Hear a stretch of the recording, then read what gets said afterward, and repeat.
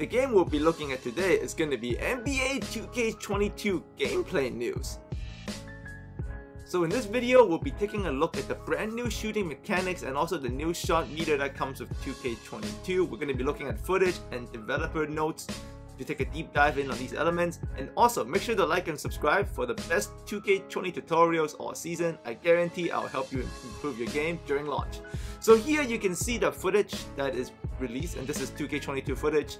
And there you see is the brand new shot meter right there. And if you take a deep look at it, it's actually much bigger than normal and there's also a new element in play and that's what 2K is calling the dynamic make window.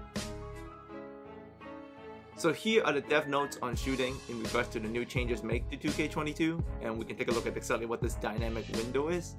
Like what's happening now is that there's a new shot meter with a dynamically resizing make window and this windows size is going to change depending if you're taking on high quality shots with good shooters that's going to increase it but it will also shrink when you're taking heavily contested shots shooting with a low rated shooter who is also tired so that means uh, the make window is now going to change in size depending on shot quality so going by what we do know about the shot meter from previous game, and shout out to uh, toasted underscore 6 from Twitter on uh, making this blow up of the shot meter. We all know that if the shot meter doesn't fill up the white, like if we're shooting below the yellow and the perfect green window, the shot like never goes in.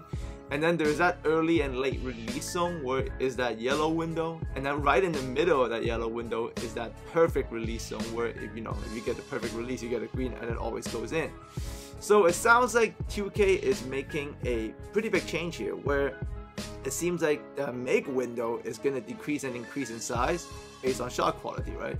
Now they didn't specify, does the make window stand for that perfect release zone or that early to late release zone?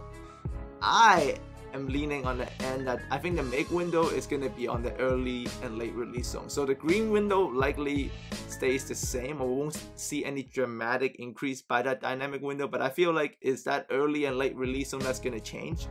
So the higher quality the shot, the more likely someone can get at least a decent release out of it. And obviously if you're skilled you're gonna get that perfect release.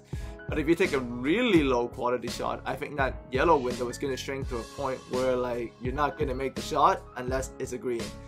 If it's implemented that way I actually like that idea a lot because that's a really good way to reflect or reward a user for you know having high shot IQ and if we go back to the dev notes right here you can actually see they do talk about that where they feel like previous year's games, shot IQ isn't being rewarded properly. So now they're going to give a bigger make window for people with higher shot selection IQ.